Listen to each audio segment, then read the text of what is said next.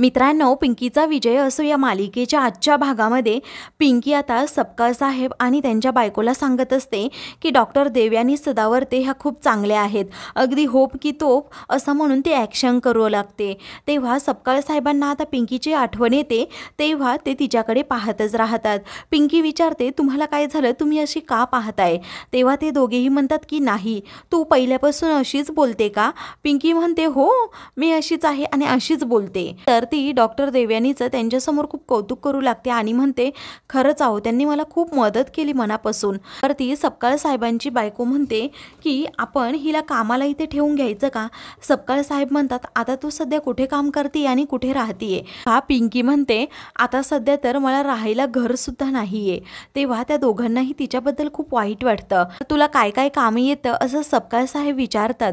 तेव्हा पिंकी म्हणते की तुम्ही म्हणाल ते आणि एका मुलीच्या हात हातात जर मोबाईल आला तर सोशल मीडियाशिवाय दुसरं काय? म्हणून पिंकी आता आनंदाने खूपच डायलॉग मारू लागते.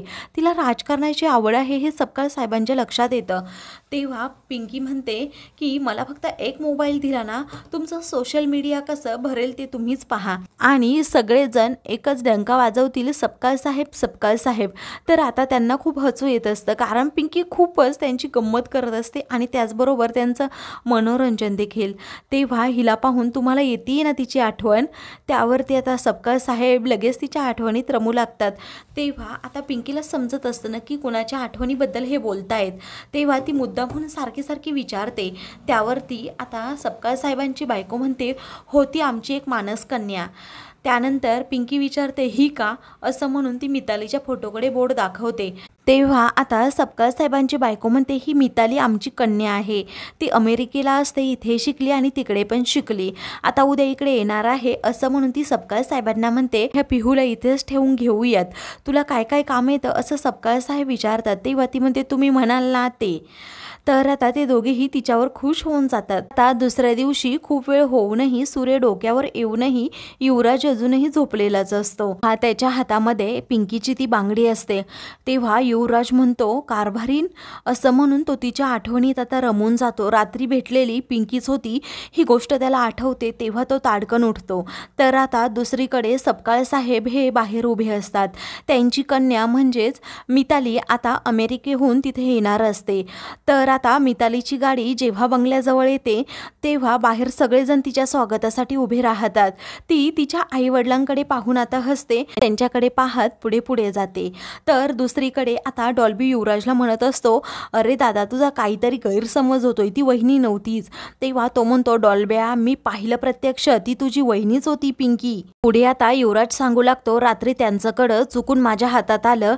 आता मी तिचा शोध घेणारच आहे. त्यावरती चित्रा म्हणते अहो अशाने तुम्हाला वेळ लागेल भाऊजी. त्या पिंकीचा जप करणं आता सोडून द्या. सारखं आपलं कारभारीन कारभारीन. काय चाललंय तिच्यामध्ये असं? तेव्हा तो म्हणतो ओ वहिनी साहेब तुम्ही जरा गप्प बसा. माझी पिंकी आहे माझी कारभारीन आहे या जगामध्ये आणि मी तिला शोधणारच आहे. तेव्हा सत्या म्हणतो की अरे नको. रात्रीसुद्धा तू त्या पंचायतीच्या ऑफिसमध्ये गेला होतास. ती भेटली का तुला तिथे? तेव्हा तो म्हणतो की सत्या मला भेटली. मी सांगितलं ना तिचं कडं माझ्या हातात आलं आहे तेव्हा मासाहेब देखील म्हणतात अरे असले चमत्कार नाही होत. मलाही वाटतं तुझी कारभारी घरी यावी. पण आता आपण त्याला काहीच करू शकत नाही. सुशीला देवी म्हणते हो ना मी ही त्याला तेच सांगते. त्या पिंकीचा विषय सोडून दे म्हणावं. जरा डोक्यात तुम्हीच प्रकाश पाडा त्याच्यासाठी त्यासाठी एकशे एक राजकन्या मी उभी करेल. दुसरीकडे मिताली अगोदर तिच्या आईबाबांना मिठी मारणार असते. तेव्हा तिची आई म्हणते थांब जरा मला तुझं औक्षण करू देत. तेव्हा ती म्हणते पटकन औक्षण करून घ्या हा. कारण मलाही तुम्हाला मिठी मारायची भेट भेटायचंय. तर आता दुसरीकडे युवराज सुशीला देवीला स्पष्टपणे सांगतो की मला तुमच्या राजकन्या नकोय. कारण माझ्या कारभारणीची सर तुमच्या कोणत्याच राजकन्येला येणार नाही. तेव्हा डॉल्बी म्हणतो हो वहिनीसारखी वहिनीच. दुसरी कोणीही वहिनीसारखी होऊ शकत नाही असं म्हणून तो चित्राचे देखील दात आता घशात घालतो. तर छबी म्हणते माझी मैत्रीण कुठे आहे? ती खूप चांगली आहे. तिनेच मला माझ्या बाळाला इकडे आणून दिलं. तेव्हा सुशीला देवी म्हणते हो मी बोलवते तुझ्या मैत्रिणीला तू अगोदर नाश्ता करून घे सगळ्यांचा नाश्ता झालाय ना आता. छबी म्हणते अगोदर माझ्या बाळाला घास भरवू देत असं म्हणून ती त्या बाहुलीलाच घास भरवते. तर आता सुशीला देवी युवराजला म्हणते बायको पुराण जरा बंद करा पुढच्या सात जन्मात देखील ती येणार नाही इकडे आता. तेव्हा युवराज म्हणतो आई साहेब तुम्ही जरा गप्प बसा कारण की माझी कारभारी कुठेही गेलेली नाही त्यांच्याकडं माझ्याकडे आहे. तर इकडे मिताली तिच्या आईवडिलांना घट्ट मिठी मानते मी मी तुम्हाला खूप मिस केलं. तेव्हा तिची आई विचारते अगं हे मिठ्या वगैरे मारणं असं कुठे भेटतात का? मिताली म्हणते अशीच पद्धत आहे अगं. म्हणून ती आता पिंकीकडे पाहत विचारते ही नक्की कोण आहे? तेव्हा ते दोघेही सांगणार असतात की नक्की कोण आहे ते. पण मिताली म्हणते थांबा थांबा. मला असं वाटतंय मी इथून गेल्यानंतर तुम्ही दोघांनी अजून एक चान्स घेतला आणि ही मुलगी तुम्हाला झाली का? त्यावरती आता ते दोघेही लाजतात आणि म्हणतात की काय ह्या वयात तू असं काय बोलतेस? हा मुलं मोठी झाल्यानंतर आईवडिलांनी आपल्या मुलांचे मित्रच बनायचं असतं असं मिताली म्हणते. तर आता दुसरीकडे युवराज ते कडं सुशीला देवीला दाखवत म्हणतो की हे पिंकीचं आहे. त्यावरती आता नुरवी आतून बोलते की दाजी हो हो पप्पांनाही भासवतोय की तायडी इकडे आली आहे म्हणून. सुशीला देवी नुरवीवर खूप जोरात ओरडते आणि म्हणते काय ग किचनमध्ये काम करते तरी तुझे कान इकडेच टवकारलेले आहेत का? तर तुझ्या कामाकडे लक्ष दे कारण की तुझी बहीण तुम्हाला सोडून गेली आहे. त्यावरती डॉल्बी आता सुशीला देवीला म्हणतो की वहिनीने माझा जीव वाचवला तरीही तुला तिच्याबद्दल काहीच वाटत नाही का? तेव्हा सुशीला देवी आता डॉल्बीला म्हणते वहिनी भक्त तुम्हाला टाळ आणून देऊ का? मग बसा वहिनीची भजनं गात त्यावरती युवराज म्हणतो डॉल्ब्या नको बोलू पिंकीबद्दल काही कारण माझी बायको नेहमीच हिच्या डोळ्यात खुपत होती. मी आई असली तरीही हिने कधी माझ्या बायकोला प्रेम दिलंच नाही. तेव्हा आता धनंजय म्हणतो कोणत्या भावनांचा घेऊन बसला रे तू युवराज? अहो पण मी तुम्हाला सांगतोय ना की तिथे कुणीही नव्हतं. रात्री आम्ही पाहिलं तुम्ही नशेत तिथे होतात. पोलिसांनी सगळी चौकशी केली. तेव्हा सुशीला देवीला आता संशय येतो की तिथं ती घाटवाडीची मुलगी तर आली नसेल. ती जरा घाबरतेस. तर धनंजय म्हणतो धनंजय पुढे सांगू लागतो सपकाळ साहेबांच्या इथे एक मुलगी आहे. दुसरीकडे मिताली पिंकीकडे पाहत म्हणते ही आपल्या घरची सर्वंट आहे का? तेव्हा पिंकी हसतच म्हणते हो मला काम मिळेपर्यंत मी तुमची सर्वंटच असं म्हणून ती मितालीच्या बॅगा आता आतमध्ये घेऊन जायला लागते.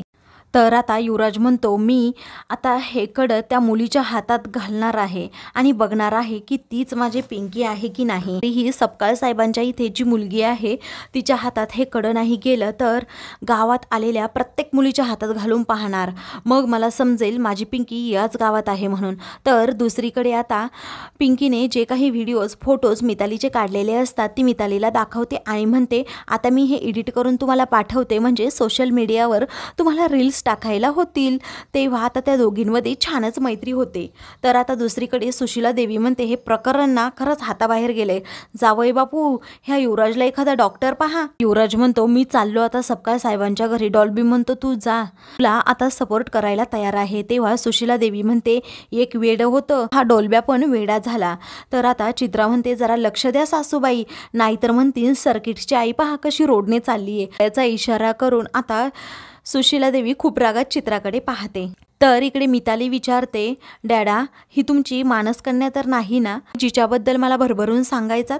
तत्काळ साहेब म्हणतात ती नाही. ही वेगळी आहे पण तिच्याच सारखी आहे सेम दुसरीकडे धनंजय डोक्याला हात लावून बसलेला असतो. तेवढ्यातच आता तेथे बापूसाहेब येतात. तर विचारतात काय झालं डोक्याला हात लावायला? तेव्हा मला युवराजांची खूप काळजी वाटतीये असं म्हणून धनंजय पुढे घडलेला प्रकार सांगतो. तर आता मित्रांनो पुढील भागामध्ये सुशीला देवी मिताली आमच्या घरची सून झाली तर आम्हाला आवडेलच असं सुशीला देवी सपकाळ साहेबांना म्हणते. तर आता दुसरीकडे युवराज हा सपकाळ साहेबांच्या घरी येतो. मिताली त्याला जोरात धडकते. आता त्याच्या मिठीत येते पिंकी ते पाहते आणि म्हणते धनी तुम्ही इथे? अशाच मालिकेंचे पुढील भाग पाहण्यासाठी चॅनलला सबस्क्राईब करा.